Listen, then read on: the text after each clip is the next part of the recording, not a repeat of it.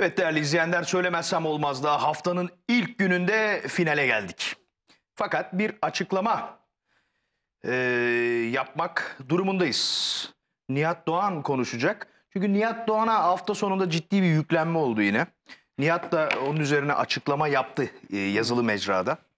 Sosyal medyada Tabii yaptı. yazılı açıklamayı yaptıktan sonra enteresan bir şekilde Çok Ömür, öncelikle onu söyleyeyim.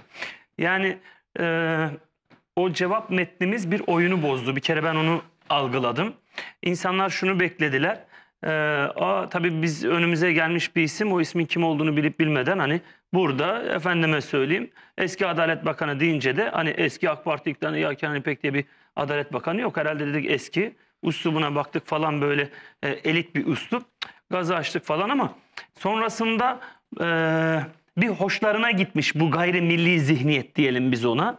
Bir hoşlarına gitmiş Allah Allah sonra ismi araştırdık. Bize gelen bir dostumuz Ankara'dan falan ya Nihat dedi senin FETÖ hassasiyetiyle yapmış olduğun e, açıklama son derece doğru ve yerinde dediler bana.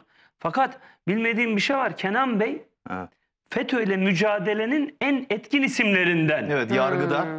Çok etkin özellikle o yargıda HSK'ya kapılanması, HSK'da yargıda FETÖ'nün çökertilmesi noktasında bu işin en önemli kod isimlerinden bir tanesi olduğunu duyunca üzüldüm ben açıkçası. Kenan İpek Bilmediği Adalet, için. Yani Kenan İpek eee, Adalet Bakanı, Müsteşarı. Müsteşarı. Şimdi Evet. böyle bir şey olunca da haksızlık yaptığıma inandım. Tabii bu normaldir. Bu yani, gayet de normaldir. Bilmeden efendime canıyı bu Ken- Kenan Bey'den e, özür diliyorum.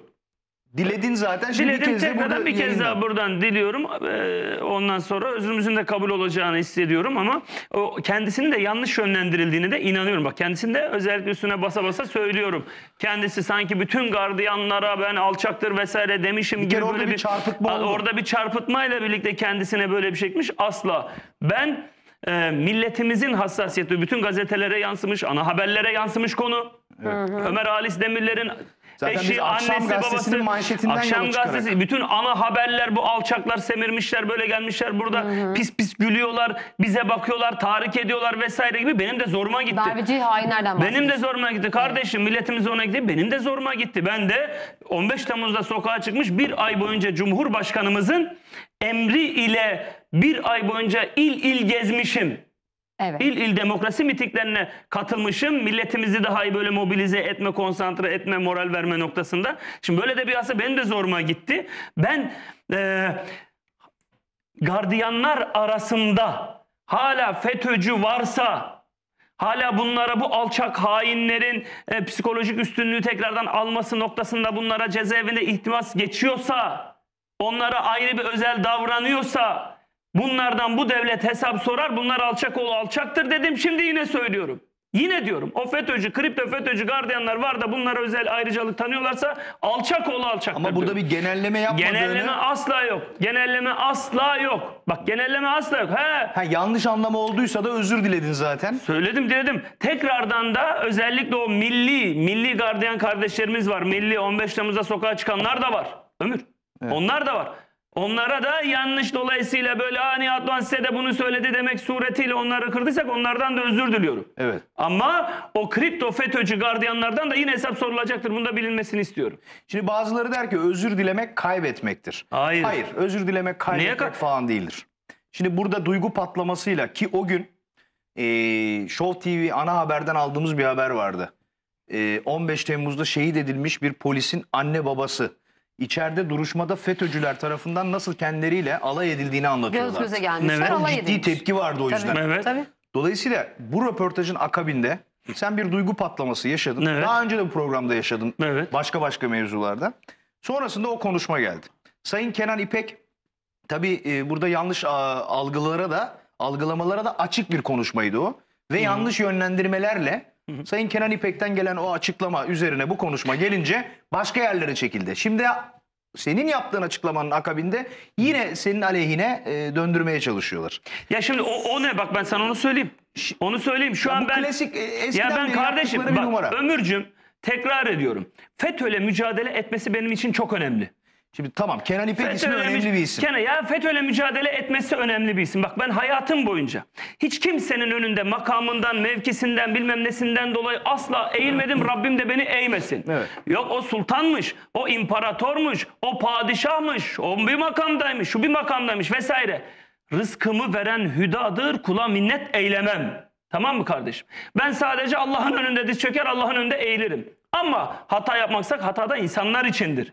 Ama şunu da açık açık belirteyim. Şunda hiç kimsenin makamı mevkisinden dolayı bir sanatçıya da böyle o aşık Veysel'i Ankara'ya sokmayan zihniyet gibi öyle elitist üslupla bir sanata ve sanatçıya yaklaşılması da doğru değil. Bunda anti anekdot. Çünkü Biz Cumhurbaşkanı tarafından önemsenen, yurt dışı gezilerine alınan, 29 Ekim resepsiyonlarına alınan, davet edilen sanatçıyız. Bize de biraz daha böyle makamlarına, mevkilerine yaraşır ve yakışır şekilde bir üslupla hare- e, tavır sergilerlerse herkes için söylüyorum bunu. Kenan Bey için herkes için söylüyorum. Devleti, devletin yasasını yapanlar değil. Milletin şarkılarını, türkülerini, atlarını yapanlar yönetir. Sanata sanat sanat çok önemli. Evet. Şimdi burada Sana çok, tabii ben şurada oyun bozuldu. He, Nihat Doğan özür dilemiş. Ya 5 bin tane 10 bin tane mesaj. Ya özür dile. Özür hata hata insanlar için. Ben neyi anladım biliyor musun? Ben şurada şunu anladım. He, demek ki özürden bu kadar şey şunu beklediler. Nihat Doğan özür dilemez. Dilemeyecek. istifa edecek. Pazartesi yayına çıkmayacak. Bu gayrimilli, İslam düşmanı, devlet düşmanı, terör zihniyetine sahip batılı ve de batıl düşman, batılın yanında olan bu batılın askerleri aynı İrfan Değirmenci olayını tersten kullanacaklar. Bak Nihat Doğan gördün mü?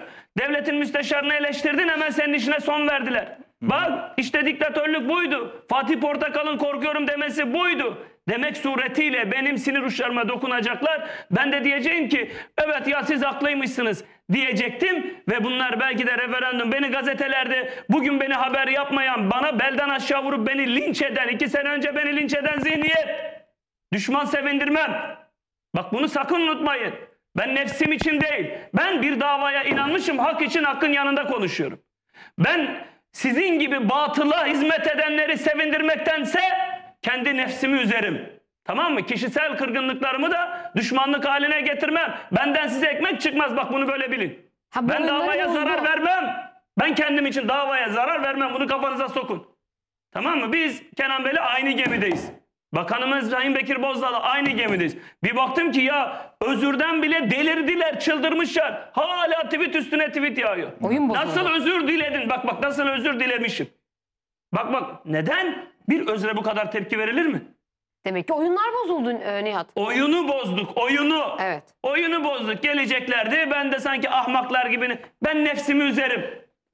Olabilir. sen orada da söylemişsin nefsimi ayaklar altına alarak. Ben nefsimi ayaklar altına alırım. Batılı ve de batıla hizmet edenleri sevindirmem. Benim nefsim üzülsün kardeşim. Önemli değil. Özellikle bu referandum süreci Türkiye'nin bağımsızlığının artık son randevusu. Son randevu.